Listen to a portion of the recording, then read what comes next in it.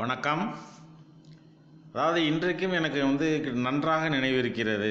குக்கிராமங்களுக்கு சென்றோம்னா அது நெருங்கிய உறவு அல்லது வந்து ரொம்ப விரும்புகிற நபர்கள் இல்லை வந்து பொண்ணு பார்க்க வர்றாங்க மாப்பிள்ளை பார்க்க வர்றாங்கன்னா முதல்ல என்ன பண்ணுவாங்கன்னா இந்த நீராகாரம் நீராகாரம்ங்கிறது கஞ்சி தண்ணி. நீராகாரங்கிறதால இன்றைக்கி நடைமுறையிலே இல்லாமல் போயிடுச்சு அந்த காலங்களில் நீராகாரம் குடிக்கிறதுக்கு அவ்வளோ ருசியாக இருக்கும். அந்த நீராகாரத்தில் உப்பு போட்டு தான் முதல்ல கொடுப்பாங்க. வீட்டுக்கு வந்தவங்கள வாங்க இருங்க அப்படின்னு சொல்லிட்டு நீராகாரத்தில் உப்பு கலந்து குடிக்க சொல்லுவாங்க. அதுக்கு என்ன காரணம்னா அந்த உறவு வந்து பிடித்தமாகும் நீடிக்கும் அப்படின்னு சொல்லிட்டு கொடுப்பாங்க. ஒரு இப்போ மாப்பிள்ளையை பிடிச்சி போச்சு பொண்ணை பிடிச்சி போச்சுன்னா அவங்க வந்த உடனே முதல்ல நீராகாரத்தில் உப்பு கலந்து கொடுப்பாங்க. இது பழைய இது. அதுக்கப்புறம் பார்த்திங்கன்னா கிராமத்தில் இன்றைக்கும் இருக்குது உப்பு வந்து போய் பெரும்பகுதி உப்பை வந்து உப்பு மட்டும் கடனே வாங்க மாட்டாங்க அடுத்த வீட்டில்.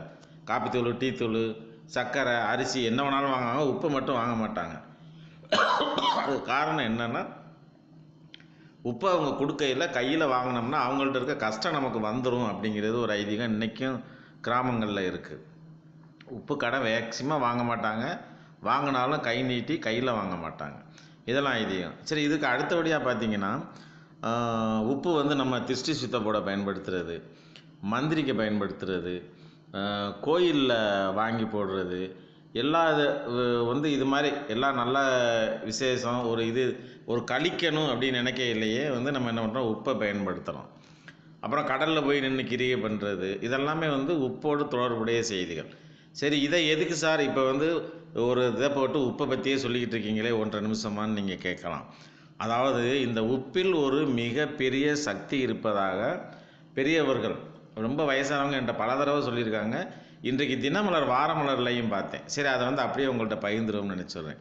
அதாவது உங்களுக்கு வந்து மாமியார் மருமக சண்டையாகட்டும் வீட்டுக்காரோட சண்டையாகட்டும் நாத்தனாரோட சண்டையாகட்டும் பண கஷ்டமாகட்டும் நோய் ஆகட்டும் இது மாதிரி என்ன கஷ்டமாக இருந்தாலும் சரி எந்த பீடை பிடித்திருந்தாலும் சரி அது என்ன பண்ணிங்கன்னா காலைல எந்திரிச்ச உடனே ரெண்டு கையிலையும் கல் உப்பை வச்சுக்கிட்டு கிழக்கு நோக்கி உட்காந்துக்கிட்டு நீங்கள் அதை சொல்கிற கஷ்டம் எனக்கு இந்த கஷ்டம் போகணும் எனக்கு இந்த கஷ்டம் போகணும் இந்த கஷ்டம் நீங்கள் இன்னும் கஷ்டத்தை முழுமையாக சொல்லி ஒரு பதினைந்து முறை வேண்டிட்டு அதை அப்படியே சிந்தாமல் ஒரு பேப்பரில் மடித்து தண்ணியில் கலைச்சி உங்கள் வீட்டு தோட்டத்தில் தொளிச்சு விட்டுருங்க.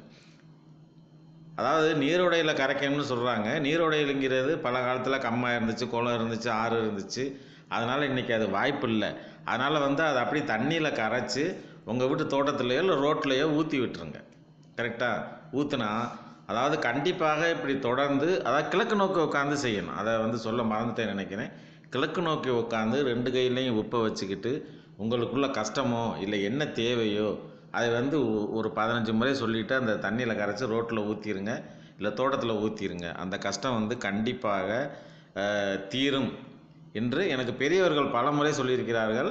இது வந்து இன்றைக்கு தினமலர் வாரமலர்லையும் பார்த்தேன். உங்களோட இதை வந்து எல்லாருக்கும் இதை வந்து ஏன்னா இந்த மாதிரி செய்திகளை தான் யூடியூப்பில் எல்லோரும் விரும்புகிறீங்க எனக்கு இது உடன்பாடு இல்லை என்றால் கூட உங்கள் விருப்பத்திற்காக இதை போடுறேன்.